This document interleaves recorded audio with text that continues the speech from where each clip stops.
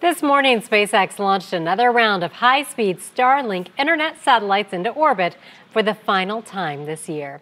It has been a record breaking year for launches. Yeah, there have been more than 50 of them along the Space Coast. News 6's James Sparvero has that story.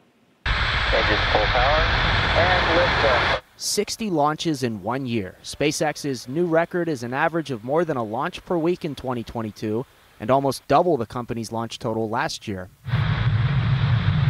But with 60 successful missions, like this morning's latest launch of its Starlink internet service, prepare for landing on our drone ship, a Shortfall of Gravitas. SpaceX did fall short with one of its major goals in 2022 Starship, the rocket designed to colonize Mars with twice the power of NASA's SLS, didn't reach orbit. NASA needs Starship to land astronauts on the moon for its Artemis 3 mission as soon as 2025. SpaceX has big plans for this rocket, but it is definitely behind schedule. So that's been a bit of a disappointment. Folks were waiting for that launch this year and it didn't happen, but presumably it's going to happen in early 23.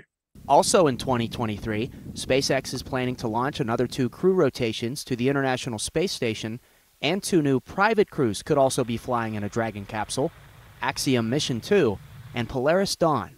That on top of all their commercial flights, certainly more than 60 flights next year. We don't have a final tally yet, but it's going to be another busy year at the Cape. And SpaceX won't wait long for its first launch of the new year. Another Falcon 9 could lift off here on Monday. We'll update you when SpaceX confirms a launch time. On the Space Coast, I'm James Sparvero, getting results News 6.